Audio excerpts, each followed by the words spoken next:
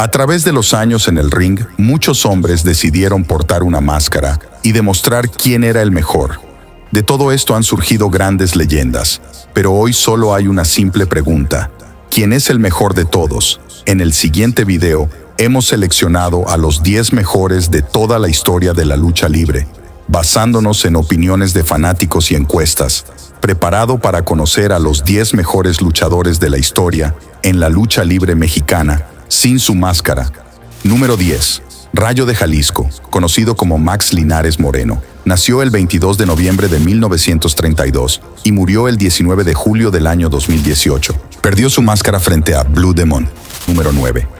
Rey Misterio, conocido como Ángel López Díaz, nacido el 8 de enero de 1958 en Tijuana. Rey Misterio Señor no ha perdido su máscara. Número 8. Atlantis, Detrás de su máscara estaba Alfonso Vega López, nacido en Tepatitlán, Jalisco, México, el 28 de septiembre de 1962.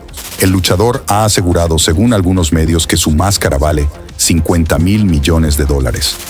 Número 7. Black Shadow.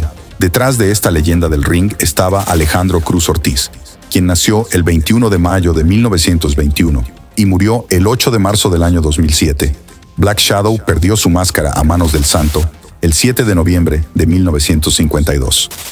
Número 6. Cien caras. Detrás de esta leyenda del ring se encuentra Carmelo Reyes González, quien nació el 8 de octubre de 1949 en Lagos de Moreno, Jalisco, México. El luchador perdió su máscara frente a Rayo de Jalisco Jr. el 21 de septiembre de 1990 en la Arena México.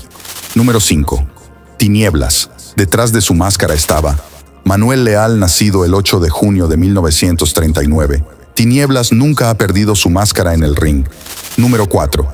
Huracán Ramírez. Detrás de su máscara estaba un hombre llamado Daniel García Arteaga, nacido el 9 de abril de 1926 y murió el 31 de octubre del año 2006.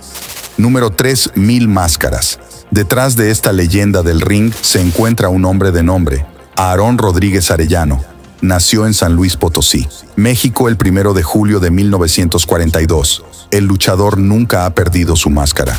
Número 2. El Santo, Rodolfo Guzmán, nacido en Tulancingo, Hidalgo, el 23 de septiembre de 1917 y murió en Ciudad de México, el 5 de febrero de 1984. El Santo nunca fue desenmascarado en el ring, pero sí se quitó su máscara en un programa de televisión en vivo en 1984.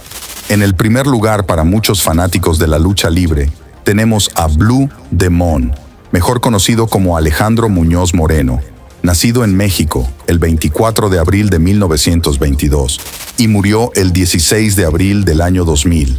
La gran leyenda nunca fue desenmascarada del ring, ni mucho menos se quitó su máscara en programas de televisión cosa que sí hizo el santo. También apareció en películas, y para algunos críticos, su físico lucía más de un luchador que el santo. Según las encuestas, este luchador para muchos merece ser el número uno sin discusión alguna.